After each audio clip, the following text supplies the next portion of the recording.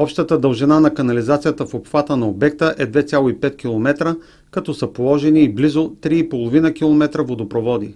Установено е, че при продължителни интензивни валежи изградената мрежа се натоварва прекомерно, което създава риск от наводнения. След изготвяне на хидравличен модел на мрежата са набелязани критични за канализацията участъци от канализационните колектори, които не могат в достатъчна степен да осигурят успешното събиране и отвеждане на отпадъчните води към градската пречиствателна станция.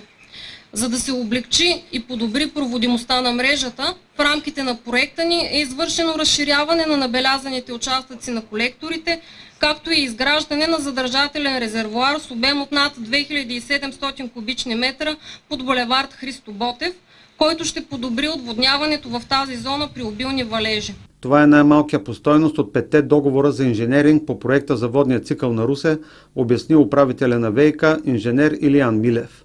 Същевременно е с най-тежките подобекти за реализация и всъщност решава дългогодишни, даже а, проблеми за, на няколко десетилетия нерешени на града, а, с които би трябвало а, отводняването и а, местата а, на преливане на канализацията да а, се сведат до минимум. Припомняме, че общата стойност на водния проект на Русе е за над 134 милиона лева.